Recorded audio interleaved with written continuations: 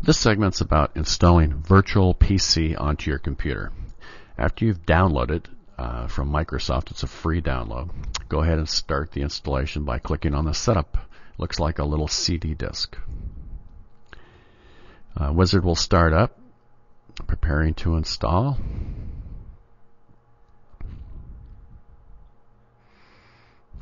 Only takes a, a short couple of minutes. Uh, it's a fairly small program.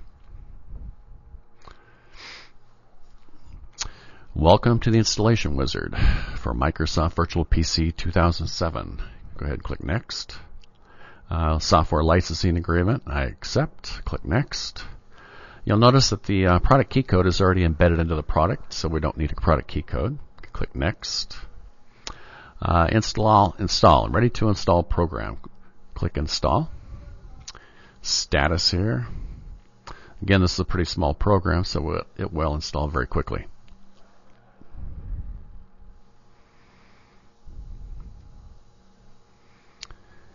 Being a little patient here. There's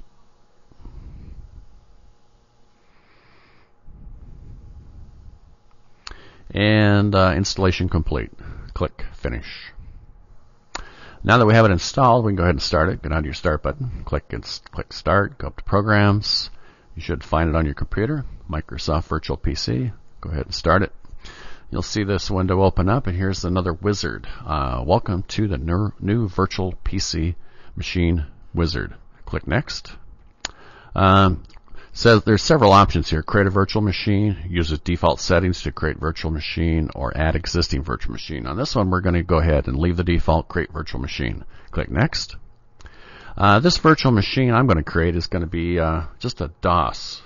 So I'm going to go ahead and type in DOS here as my virtual machine. And I'm going to give this a location. I'm going to browse. Uh, I have a folder that I'm going to create uh, and I'm just going to call it uh, my DOS uh, VMS for virtual machine. Go ahead and open up that folder, and I will save uh, my DOS virtual machine in there.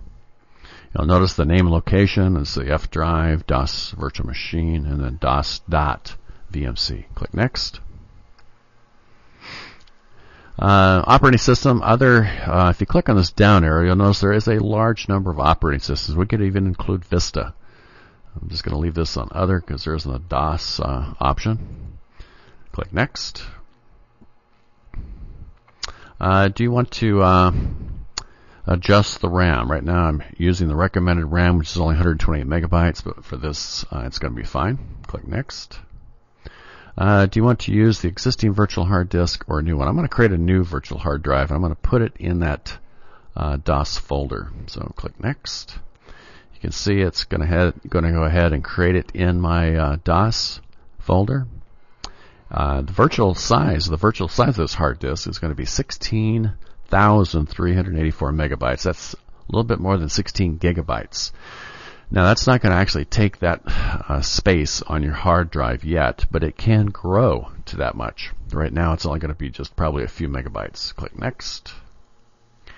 And that completes it. Finish.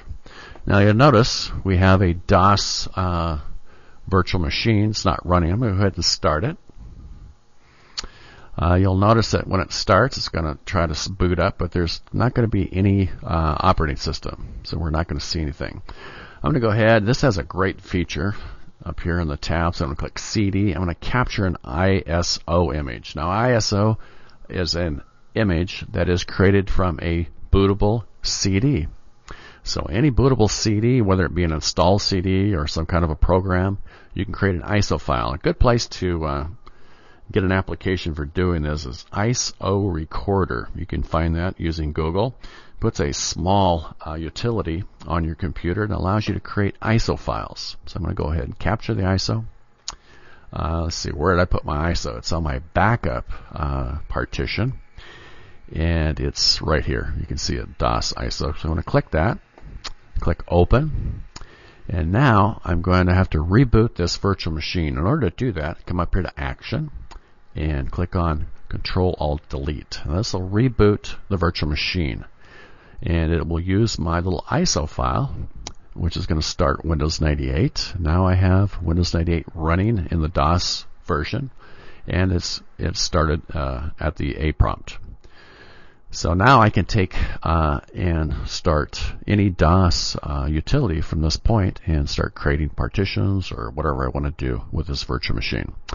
Uh, this concludes this segment. Thank you very much.